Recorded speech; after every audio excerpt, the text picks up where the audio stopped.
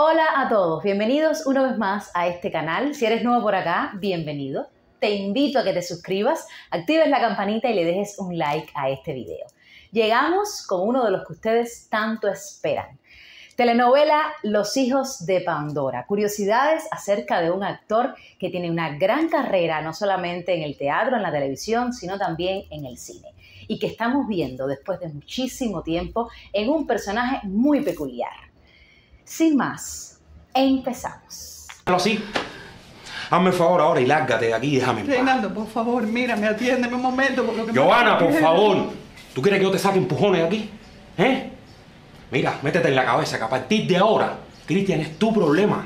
¿De acuerdo? Llévalo al cementerio para que conozca a su padre muerto. Llévalo. Para que conozca a su familia, a la de verdad. Rey. Y sácalo de mi vida, como mismo lo metiste, a la fuerza. Pero no hables así de él, que tú sabes muy bien que Cristian no tiene la culpa. Además, yo lo hice porque tú lo estabas entrenando mucho y yo tengo miedo de que él se enferme, Reinaldo. Él no tiene tu constitución, él no es fuerte viejo como tú. Yo tengo que sacarte empujones aquí, Giovanna. Reinaldo, Tengo que por hacerlo. favor, como tú escúchame. quieras, Giovanna, como tú quieras. no se te ocurra. Eso es que tenía cargo de conciencia, Carmen, por eso fue que vino. Cargo de conciencia, ¿por qué? ¿Cómo que por qué? Porque me obligó a criar un hijo que no es mío. Tan sencillo como eso. El que no entiende nada eres tú. Definitivamente. Alain Aranda es graduado de la Escuela Nacional de Arte en el año 2001. Siendo aún estudiante, grabó la serie Enigma de un verano. Con esta serie se dio a conocer en la pantalla chica y justo después llegó la serie Coco Verde. En el 2004 llegó la serie Por Deporte y Amor y después la telenovela La cara oculta de la luna.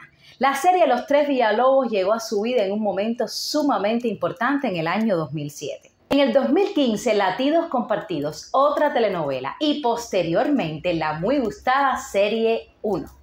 En el 2018, la telenovela dirigida por Alberto Luberta Entrega y después la serie Lucha contra Bandidos. En el año 2021 participó en una serie alemana, Funeral for a Dog, y después llegó la serie humorística cubana Juntos pero no revueltos. Curiosidades de la telenovela Los hijos de Pandora de Alain Aranda. Alain Aranda es derecho y en la novela hace un personaje de lanzador zurdo, por lo que le costó muchísimo trabajo el entrenamiento y aprender a hacer los movimientos de un zurdo. Pero agradece muchísimo a todo el equipo de industriales al que tuvo el placer de conocer personalmente y muchos de ellos los van a estar viendo en algunas escenas de la novela Los hijos de Pandora.